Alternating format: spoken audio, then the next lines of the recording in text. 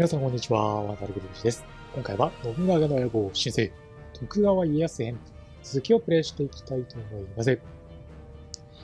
前回までに秀吉を滅ぼすことに成功したんですが、最後の秀吉の城をですね、毛利に奪われたことによって、毛利に秀吉の優秀な家臣団が吸収された状態です。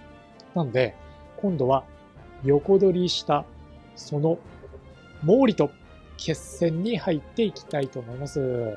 では早速時間をゆっくりゆっくり進めていきましょう。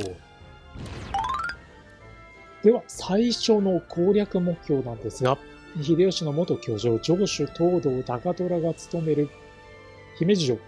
ここにターゲッティングしていきます。左近がいましたね。左近が使えてくれればめちゃくちゃ大きいな。この後ね、お左近は優先的に使って昇進をさせていきます。まあ、あの、秀吉配下の武将もですね、そのまま毛利の配下になるのを良しとしなかった、まあ、左近のような武将もいると思いますので、そういうものをね、確実に拾っていきたいと思います。では、姫路城に向けて出陣します。え家康自ら、およそ4万の軍を率いて出陣ですね。まずは、決戦で、姫路城周辺の敵勢力、まあ、毛利に動揺を与えて、その後ですね、安政、忠勝、まあ、こういった軍団長クラスを投入していくというね、二段構え、三段構えの作戦です。では、敵領内に侵入しました。ここからですね、敵の出方を確認しながら、決戦のタイミングを測っていきます。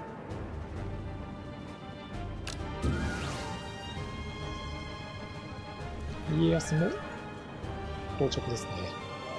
姫路城をご詰めする余裕が毛利側にあるのかどうか出ていきましたね。ご詰め決戦になるようであれば、一挙に地位を決しにかかりましょう。独断撤退か。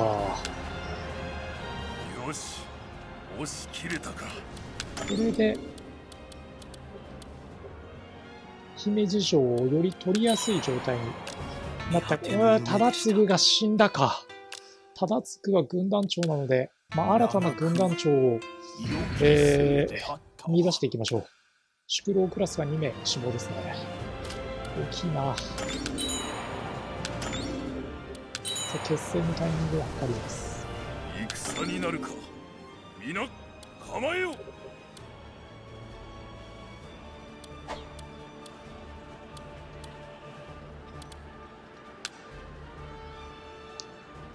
さて、吉川広家が敵将ですね。これもうちょっと待ちましょう。もうちょっと敵が集まってくるのを待ってから一挙に殲滅したいので、よし押し切れたかこの辺りで決戦といきますか。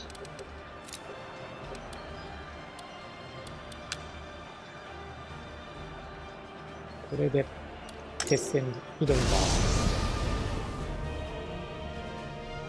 できればね、干渉して、この、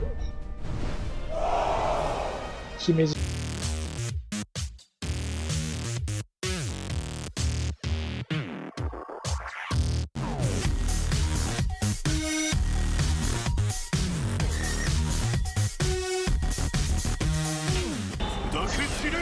はい。え、軒口2つ破壊、プラス敵もだいぶ打ち取りましたね。見たか威風は発動できても弱なんですけど、これはかなり大きいですね。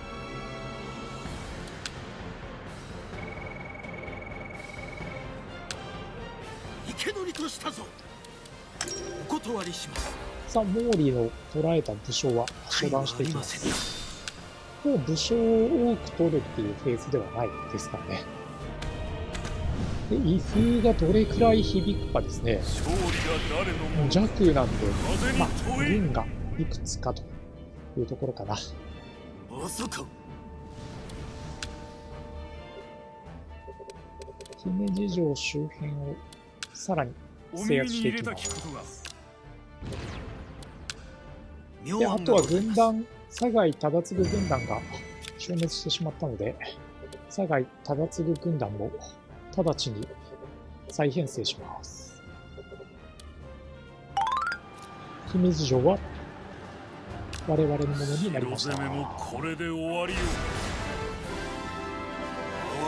くれてやるわい高虎含にめてという店おで断った者は処刑もう徹底的に毛利とは戦いを尽くすと、まあ、そういう状況を想定しています。さて、続いて、清水宗春隊と戦闘を交わします。ここも家康自ら合戦に挑みましょう。この宗春を倒せれば、一旦軍を引いて、地固めに入ってもいいかもしれませんね。では、合戦です。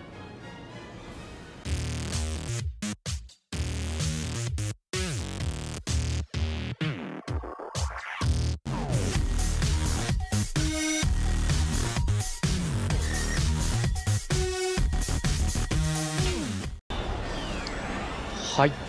宗春を撃退して、出雲の奥になんか捕獲に成功しましたね。一度の勝ちに浮かれるで家康自ら率いてきた軍をある程度消耗したので、えー一旦騎乗したいと思います。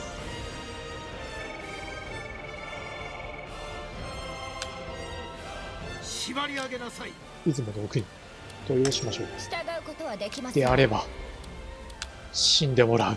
ちょっともったいないですね。はありませんねというわけで家康は自ら連戦をこなして、勝えーこの一帯ですね、大幅に前進させることができましたね。これは大きいな。